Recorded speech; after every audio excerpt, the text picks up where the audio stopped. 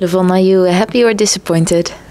Uh, uh, I, I guess neither. You know, the it, it was just uh, an unusual position, and uh, I think uh, Anish handled it well, and so I've probably made a couple of inaccuracies early on because after e6, it seems that black is doing all right. Uh, don't you find it a pity that you can't uh, play for first place anymore? Yeah, you know, it's a pity, but uh, Magnus played a wonderful tournament and he deserves you know, the win, absolutely.